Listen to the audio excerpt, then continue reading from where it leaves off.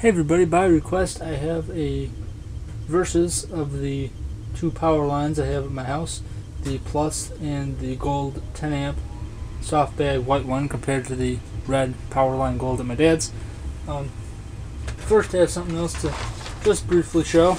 A uh, vac that does not get seen much. My uh, Hoover touch up because of the motor being really screwed up as I indicated in the one video that I have of it running. Um, has somewhat been fixed. My uh, mom complained about where it was being stored because she's always running around the basement complaining, "You got vacuums in the wrong place," blah blah blah blah blah, blah all that garbage, um, and just like that too. But um, so uh, her telling me to move it inspired me to take it apart and see what I could do about making it run better. And what I deducted was what originally happened was the fan melted to a um, what I want to call an air plate, the uh, plate that mounts the motor or holds the the fan end of the motor in place, um, but allows air to go through so it creates the actual vacuum. It had melted to that, and uh, my dad, not being um, any bit knowledgeable in vacuums, when he busted it, when he got the fan apart, um, chipped the fan and busted the plastic thing, the uh, the plastic shroud, um, off the motor itself. The two little screws that hold it in, they busted off, and um, it was rubbing again. Um, and the motor was moving back and forth and all that crap, and my little contraption wasn't really working. So what I did was I figured out how to get the fan off, and I did, and then I riveted the um, the shroud back on as I did with the bearing plates on the Green Powerline Plus behind it. Um, and then I put the fan, I put a spacer behind the fan so because it seemed to still be rubbing. I put a spacer on it and then put the fan back on and the only issue I have now is, even though I thought I fixed it, is the uh, the fan is hitting the um, air duct, the little black tube that runs uh, from the uh, the suction section there to the the fan, um, the air duct converter thing.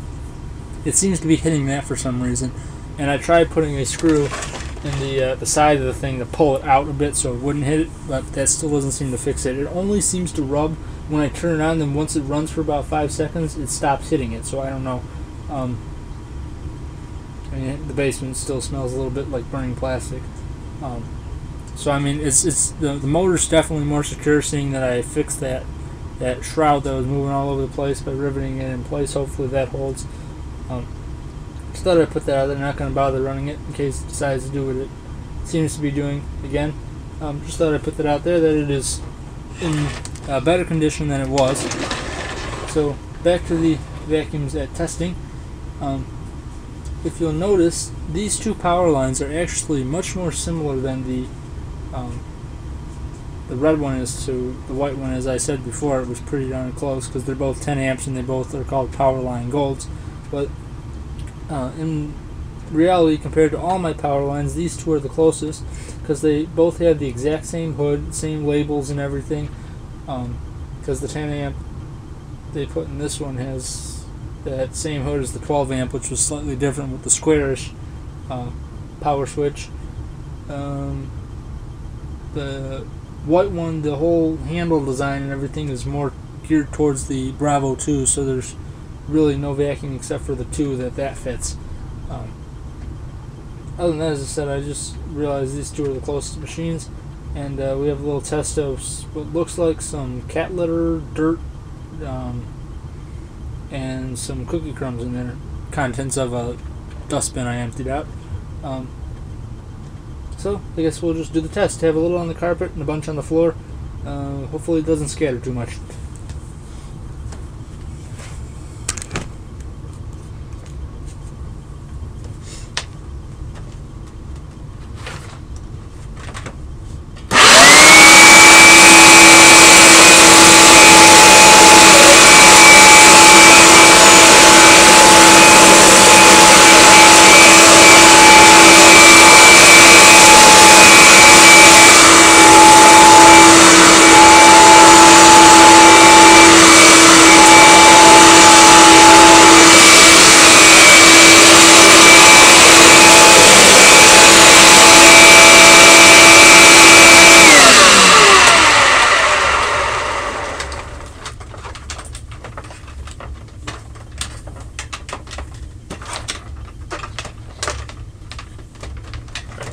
Out of there. Now the 10 amp.